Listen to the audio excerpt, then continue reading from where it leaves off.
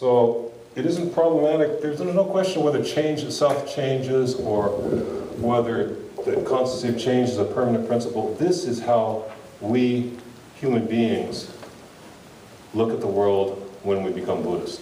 That's our vision. Everything's constantly changing. Is everything constantly changing for Christians who go to heaven?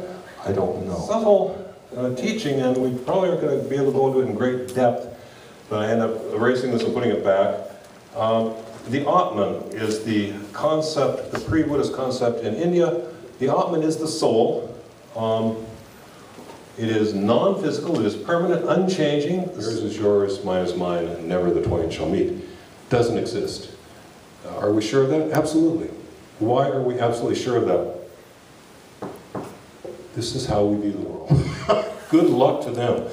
Buddhists don't have one. And uh, it's not a problem because although the Atman, the Atman, or soul, was denied by Shakyamuni Buddha and all the great teachers of Buddhist tradition for 25 centuries, we never denied that there is a self. Um, this obviously opens a big uh, conceptual problem or, or, philosophical problem. Who, what is the self? Who are you? Who am I?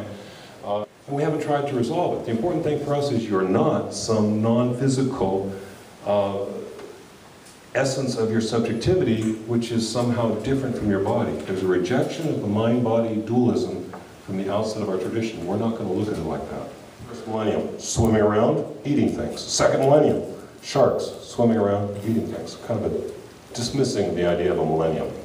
Um, but for us,